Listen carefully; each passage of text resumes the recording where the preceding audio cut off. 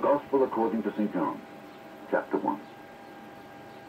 In the beginning was the Word, and the Word was with God, and the Word was God. The same was in the beginning with God. All things were made by him, and without him was not anything made that was made.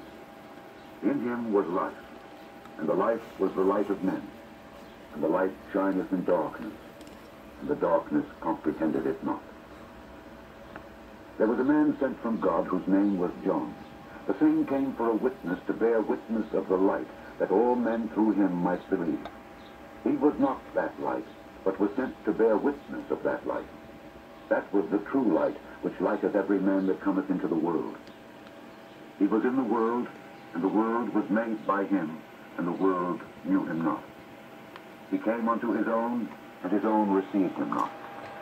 But as many as received him, to them gave he power to become the sons of God, even to them that believe on his name, which were born not of blood, nor of the will of the flesh, nor of the will of man, but of God. And the Word was made flesh, and dwelt among us. And we beheld his glory, the glory as of the only begotten of the Father. John bare witness of He that cometh after me is first, for he was before me. And of his fullness have all we received, and grace for grace. For the law was given by Moses, but grace and truth came by Jesus Christ.